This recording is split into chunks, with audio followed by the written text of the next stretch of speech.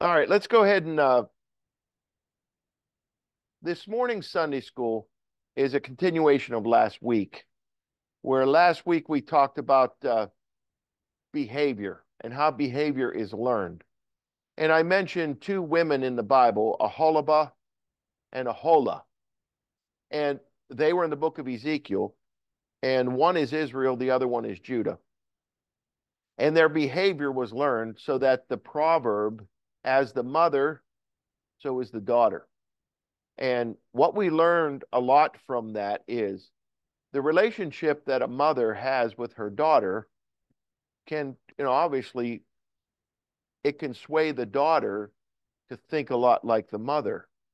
And in the Bible, we find people passing things off to their posterity, to their kids, whether behavior is learned or behavior is developed, you won't always find that, and this is just a, a marvel of mine, that in the scripture you have a king who is godly, and then their offspring is not, and then their offspring is godly again. And how people coming out of the same person, a mother, a womb, she has, say, three or four kids, and how each of those kids can be so much different than their parents, even in the way they think, act, whatever. Uh, I know of a family where one, there are two kids. One is a very conservative supporter of conservative, and the other one is a very much a liberal and supports the liberal platform. And they're sisters. And it's crazy how the one supports this and the other one supports that coming from the same same womb. Uh, it, it is amazing. But behaviors themselves are learned behaviors. Okay, now there was one that I, I didn't talk about when it comes to bad behavior. That, of course, a mother put a daughter up in a situation, and I didn't talk about that. Anybody know that situation? It's Herodias. Herodias. She had a thing against the man of God because he preached against her and the wicked lifestyle that she was having with Herod at the time. And John the Baptist pointed it out and said, It's not lawful. He told the man, Herod, he said, It's not lawful for you to have her uh, because there was an unlawful marriage there. And John the Baptist, as a preacher, as a man of God, pointed it out. And that's what men of God are supposed to do. They're supposed to point men's sin out, people sin out, and preach against it. John the Baptist did that. Well, she decided to come up with a plan. Talk about conspiracy plans and conspiracy theories and yesterday with the uh, shooting of President Trump and the apparent uh, attempted assassination of him. Uh, a lot of conspiracy things are coming up, whether they be true or whether they don't, whether they're not true. But in the Bible, we got this one here. We got a woman who gets upset with the preacher, and she goes back and she sets her daughter up in a situation where, hey, you go and you dance before uh, Herod. And get him to grant you a wish. And the whole plot was set up, was it not? The whole thing was set up some, from start to finish. Let's go to Mark chapter 6. Mark chapter 6. We'll just look at one more example of bad behavior in the Bible. One more example. Mark chapter 6. Mark chapter 6.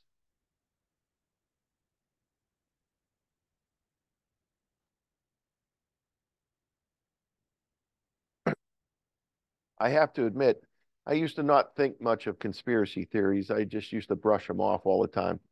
I know a lot of people over the years, people in my church at Butler, a lot of them were into conspiracy things and they would bring them up. And I would ask them, please just be careful in the church. You know, we don't want to. The, the thing is, the reason I would brush them off is because I know as a, as a preacher, my duty is to always stay constant to the word of God. Always. And the devil's going to try any way he can to get you off the beaten path. So it's okay to read up on these things. It's okay to check them out and have an opinion on them, but just be careful that you don't get way over here into them because the devil, that's exactly what he wants to do to you. And even if you figure it out and you say, well, that was true, how much time have you lost for God? You know, it's that's what I used to tell everybody up there.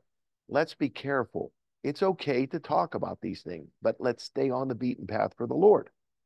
But the older I get, the more I'm starting to understand that a lot of what you hear, there is some grain of truth to them. And you have to start thinking that some of these things, as we witnessed yesterday, it sure seemed like something was really weird with the way that all went down. And of course, there's going to be a lot of conspiracy about it.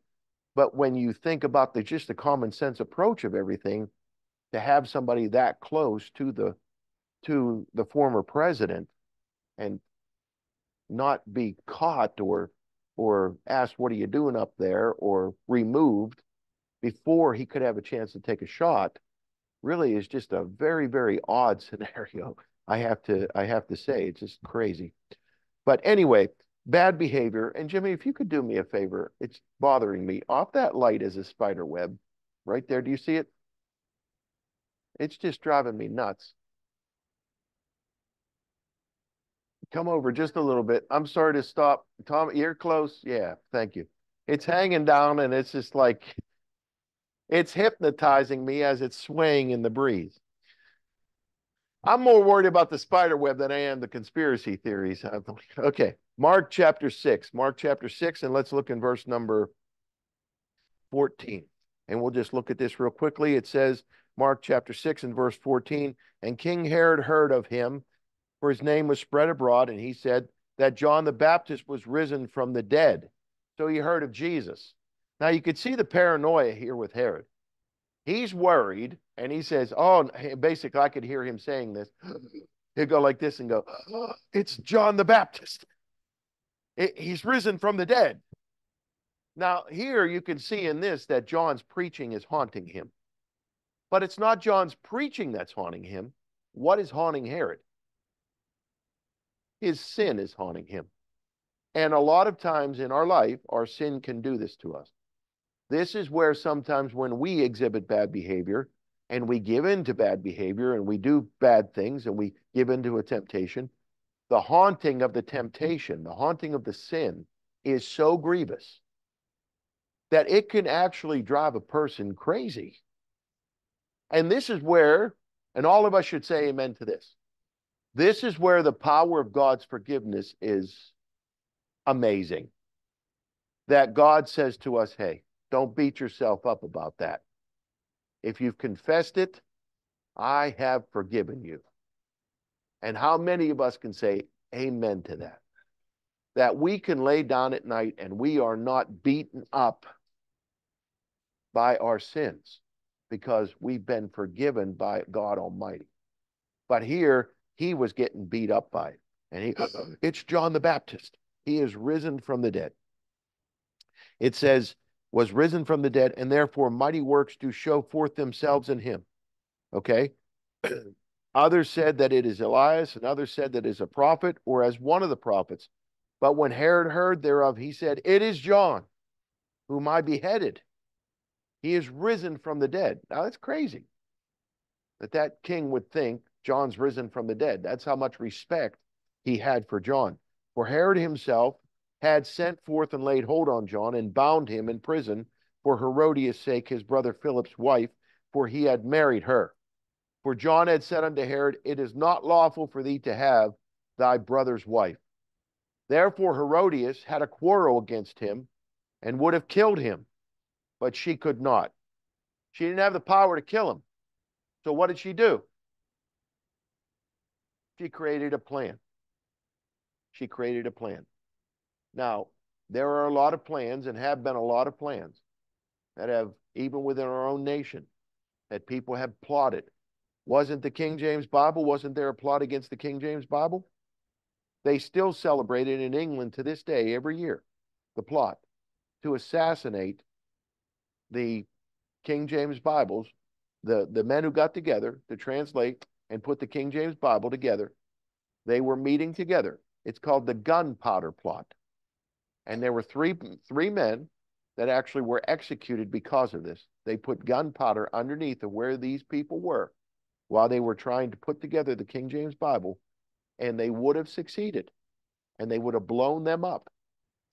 But it was revealed, the plot was revealed, and it was the plans were foiled and how many plots over the course of time has God jumped in and said, It's not happening? my word, or even with political leaders, or whatever, even in our lives, has not God stepped in and foiled any plot or any plan that wicked people might have had against you or somebody else or against the, even the word of God, the plots. But in this case, and again, if God allows it, then it will be allowed. In the case of John the Baptist, he was a great man. No greater man born among women. God permitted it to happen. And the plot went down. It says in verse 20, For Herod feared John, knowing that he was a just man and an holy, and observed him. And when he heard him, he did many things and heard him gladly. So Herod really appreciated John and he appreciated his preaching. He knew he was wrong in what he was doing.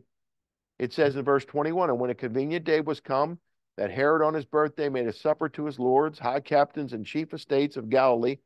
And when the daughter of the said Herodias came in and danced and pleased Herod. Now, she was just a young woman here, a very young, in fact, probably quite young, uh, a young girl.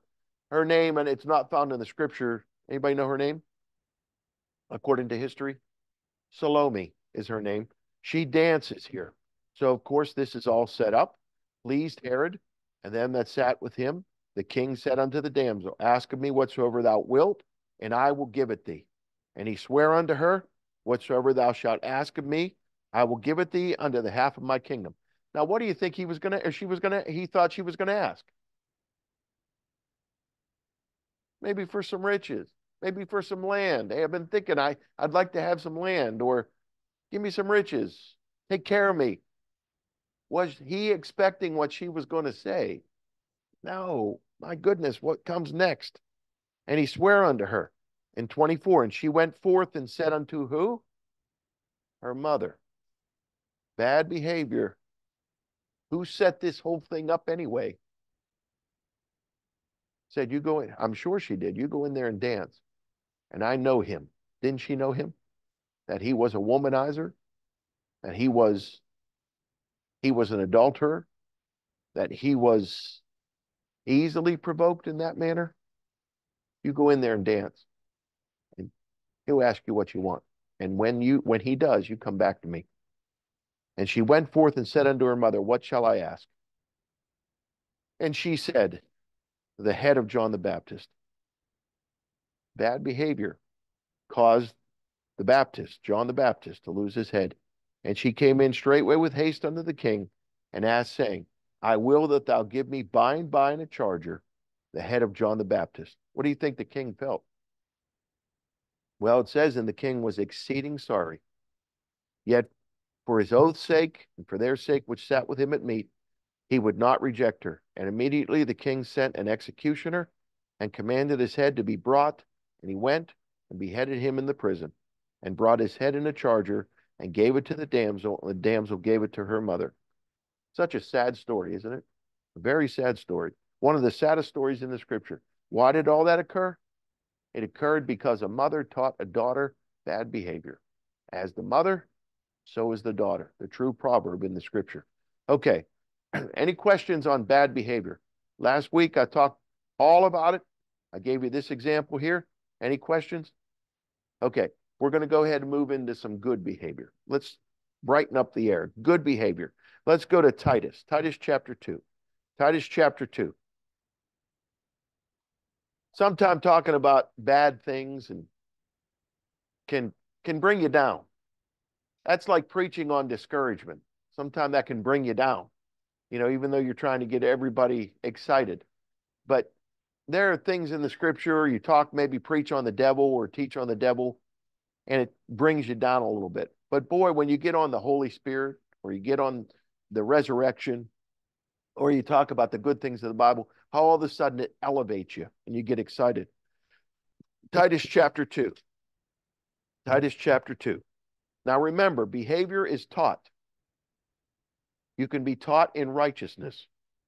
It says in Titus chapter 2, verse 1 But speak thou the things which become sound doctrine that the aged men be sober, grave, temperate, sound in faith, in charity, in patience.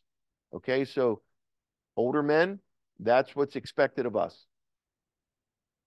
older women, the aged women likewise, that they be in behavior as becometh holiness, not false accusers, not given to much wine, teachers of good things. Watch the alcohol, especially as you get older, ladies. Obviously, God put that in there. You know, there are a lot of uh, closet drunks among women. A lot of women. Who knew that? Who knew that? See, women don't come out. They won't. They won't frequent the bar. They're not going to pull up at ten o'clock at night and say, "Hey, Joe, pass me a drink." You know, and sit with the guys and get drunk. Women don't do that. The man will just pull up to the bar. He'll go in. He'll say, "Hey, what's on TV?" Or "Let's talk about the day." "Hey, Joe, or slide me down," whatever. And they get drunk with their friend. Women don't do that. Women will hide this, and a lot of them they get. I know a lot of women. They go home and they love to have their glass of wine. I work. I'm in the work world. I work with a lot of professionals. You know that. I hear them talk all the time. I can't wait to get home. I had a rough day. I'm just going to get my glass of wine and I'm just going to relax. You know, how many glasses of wine are you going to have? Got to be careful. That stuff can aged women. The Lord knows women. He said, false accusers, not given to much wine, teachers of good things. Also, you can pass that behavior off to the younger women. How important is, is it for the aged women in the church to help teach the young women? That's, that's the, the principle of the scripture when you think about a church. And you see a young woman carrying a baby or a young woman with all kinds of baggage and coming into church and they got the baby in one, one hand and they got and they're doing this to try to just the aged woman says, I was there, right? I was there. Boy, I, I don't want to go back there, you know. unless unless you're Lorena who says I'd gladly go back there, right? Lorena loved having kids, didn't you? She did. She did. And when the fourth one came, I said, "You done?" Ah, I don't know. I don't know. And Tony's like, "Yeah, we're done. We're done." But there are some there are some women who just love to have kids. And then there are others, they have one or two, and they're just like, I'm glad that's done and I'm over with that. But you know what you went through. So when you see a young lady going through it, you can extend a hand. Hey, can I help you? I understand. Or maybe you see them turn their head and maybe in church they're crying or something like that. And, and you look and you see that's not a tear of joy. That's a tear of sorrow. Something's going on in her heart. Maybe she's having a little bit of postpartum depression. Maybe she's having a little bit of being overwhelmed. Maybe she's having a lack of sleep. And all you ladies can say amen to that. And you could get that young lady aside and say, honey, I know my child kept me up all night. My husband did nothing to help me. Come on, ladies. Come on, ladies. Give me an amen. My husband, that old slug, he did nothing to help me. You know, yeah, of course, he had to get up in the morning and be fresh for work. When I held down a job too, or maybe you didn't, or whatever, you say, I, and then you can talk to the young lady, and she can go home and say, Oh, so I'm not alone. I'm not alone in my in my thoughts. I'm not alone. See this behavior? Could pass on some good behavior. Don't get upset about the situation. It will get better.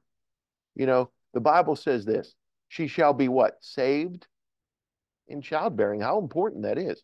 It's not a spiritual salvation, it's a physical, soulish kind of thing where she, she'll get through it. God gives more grace when you have those kids. And you know it when you're stuck in a nursery and you got three three of your own that are hounding you and your husband's out there praising and amen in God, and you're, you know, yeah, yeah. And you're like, I'm getting nothing out of church. I'm getting nothing. My husband, and he just, you know, here we go again, that husband thing. But you understand it. You understand it. My wife at one time said to me, she said to me, Kev, I know I'm supposed to go to church and I enjoy going to church. She says, but I go to church, you dismiss, and I go to the nursery and I sit in the nursery. I don't get to hear the sermon because we didn't have a sound system at the time. And she says, It's getting hard because I'm getting nothing out of church. I get it. I get it. I understand. I, I can't say I understand because I don't. I don't. Yeah, and it was it was tough. It was tough. So if that happens to you, or if it has happened to you, and you go, oh, boy, church is becoming a drag. It's not that it's a drag. It's everything you have to do is become a drag. Even now, you might be sitting here and you might have had a rough morning getting your children ready to come to church. And you just might be worn out and say, they exhausted me this morning. And I'm sitting here and I need toothpicks to keep my eyes open. She shall be saved in childbearing. Very important to get that God is with you when you feel overwhelmed and he provides extra grace. Okay, let's look verse 4 that they may teach. See, teach, pass it on. This behavior is passed on, good behavior is passed on. A lot of the reason our, our world is the way it is today is because people are not in church. Because this can't be done if someone won't go to church. But when you go to church, you do more than just hear the preaching. You are able to pass on good behavior and assist somebody in need. This is why the church is a living organism. We're all together in this, that they may teach the young women to be sober, to love their husbands. Uh, and there we go, right there. What did what are they teaching the young women? That old slug that you're talking about. That husband slug of yours that you want to beat up, that you just want to hurt. And I I'm getting a lot of amens out of the ladies. The older women can say, Hey, have grace with him. Could they also say, divorce him? Could they? Would a young woman maybe listen? Hey, let me get you aside. My husband was that way. I kicked him out. Best thing I ever did. I kicked him out, and you should do the same. Could that happen? And then the woman goes home, and the young lady says, Oh, Martha over there, or Mary, or whatever her name was, she's got a good idea learned behavior? How many marriages have been saved by an older woman stepping in and saying, Let me help you, honey? Let me talk to you. It will get better. Come on, ladies. Amen.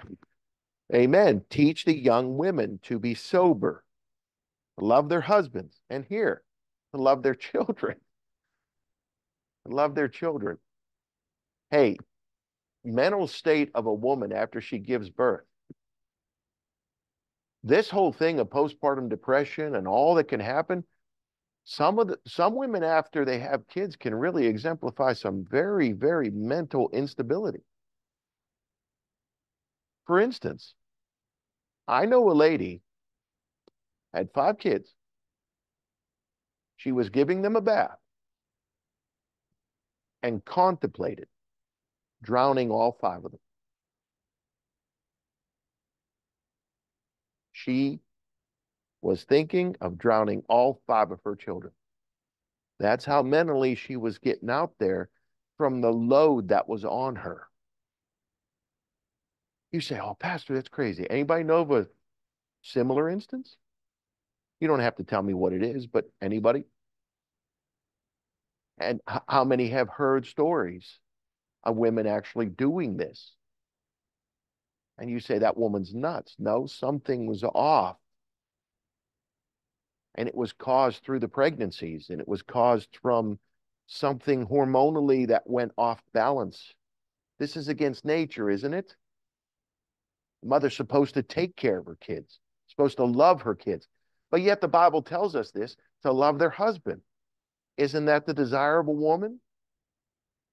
So these kind of things, the older woman steps in and says, This is against nature. You're supposed to love your husband. I'm going to try to help you. The older woman steps in and says, This is against nature. It's not natural not to love your kids. I'm going to help you love your kids. I'm going to teach you. I'm going to show you some things in my own life that worked for me. How important is that? This is learned behavior and it can be taught. And this is the beauty of church and the beauty of having a friendship network. You don't want to go go this alone, do you? Want to have someone that you could call or you could talk to, someone you can trust, someone that's going to give you good counsel. Okay? To be discreet, chaste, keepers at home. And boy, if we ever needed that, we need it in the world today. Good, obedient to their own husbands, that the word of God be not blasphemed.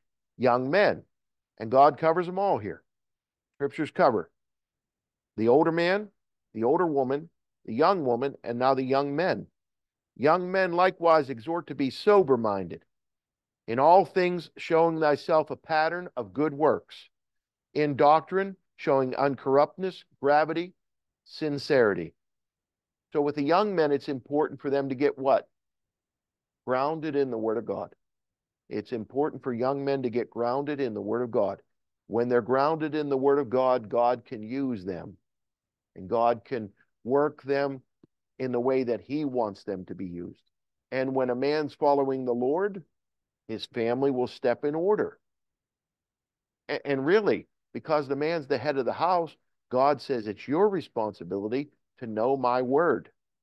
It's your responsibility to lead your family in the way of righteousness.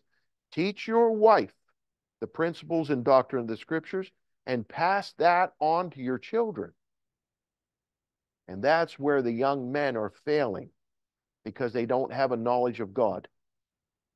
Sound speech, okay? Sound speech that cannot be condemned, that he that it's of the contrary part may be ashamed, having no evil thing to say of you. They should have character and a reputation that is impeccable. Okay? Again, that is behavior that is taught. Now, let's look at First Timothy. First Timothy. First Timothy chapter 5.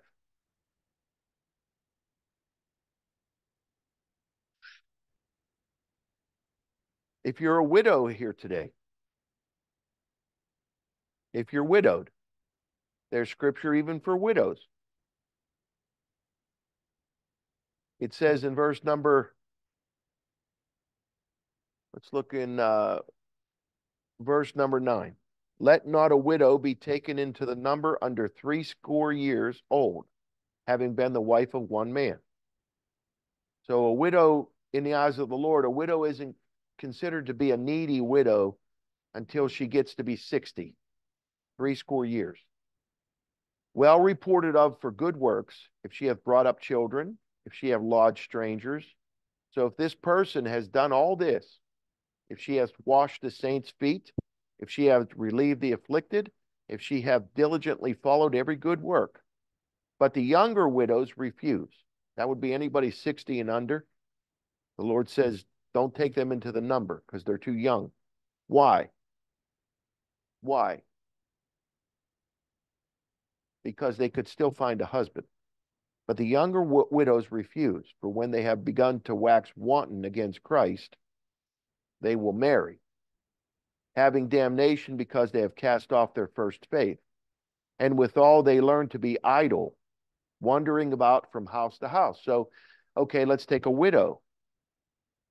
A, wo- a woman who's widowed has a tendency to get what?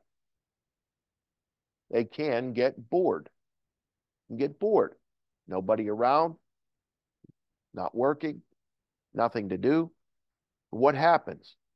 The Lord says, be careful, especially if you're in that state, because you can become idle.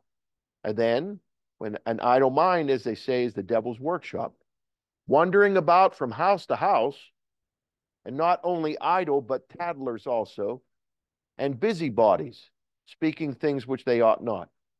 So they tend to if they're not careful, the temptation for an older woman who's a widow is to get involved in things that they don't belong in and being busybodies, tattlers, okay? Talking a lot and bringing up stories, speak things they ought not, okay? It says in verse 14, I will therefore that the younger women marry, bear children, and guide the house. So Paul's recommendation to Timothy when he wrote this in the scripture was is that the younger women should marry. And we're seeing in our world today where the marriage age is beginning to what? It's going up. And a lot of women, because the marriage age is going up, a lot of women are succumbing to living together with someone. This is why, because men don't want to marry anymore.